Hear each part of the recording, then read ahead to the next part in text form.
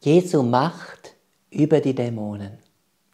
Ein herzliches Grüß Gott heute wieder zum Gedanken zum Tagesevangelium.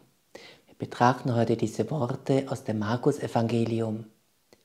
Die Leute kamen zu Jesus und sahen bei ihm den Mann, der von der Legion Dämonen besessen gewesen war. Er saß ordentlich gekleidet da und war wieder bei Verstand.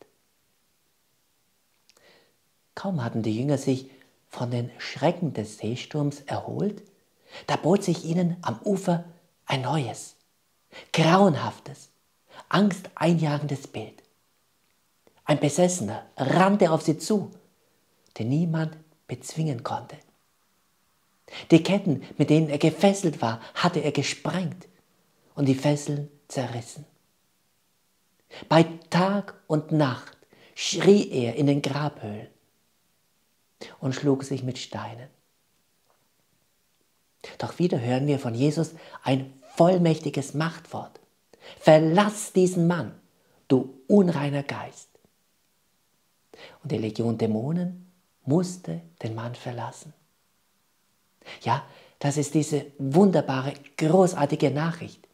Jesus hat die Vollmacht über alle Dämonen. Wenn wir bei ihm sind, brauchen wir vor ihnen keine Angst zu haben.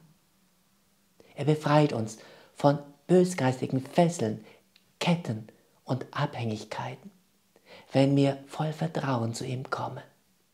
Da denke ich an eine Person, die sehr schwer litt. Ich bot ihr das Sakrament der Krankensalbung an. Darauf meinte sie, muss ich jetzt sterben? Da sagte ich, nein, Jesus wird sie aufrichten. Und außerdem ist es so schön, dass gerade im Sakrament Jesus selbst wirkt, selbst der kranken, bedrängten, gequälten Person die Hand auflegt und aufrichtet. So machte ich es auch bei dieser leidenden Person. Nach dem Segensgebet erzählte sie mir, dass sie spürte, wie bei ihr innerlich Ketten zerrissen worden seien. Ja, Jesus richtete sie spürbar wieder auf und in kurzer Zeit war sie wieder gesund. Danke, Jesus, dass du gekommen bist, um uns von allem Bösen zu befreien. Im Namen und in der Kraft Jesu Christi von Nazareth, der die Vollmacht hat über alle Dämonen. In der Kraft des Glaubens der heiligen katholischen Kirche, wo Jesus uns gerade in den Sakramenten der heiligen Beichte und der Krankensalbung von allen Fesseln des Bösen befreit. Auf die Fürsprache der Mutter Gottes, des heiligen Josef, unserer heiligen Schutzengel und Namenspatrone und aller Engel und Heiligen des Himmels, binde, breche und entmacht dich alle Flüche, Verwünschungen und negativen Festlegungen, die euch, eure Familien, euer Hab und Gut getroffen hat und setze euch frei davon.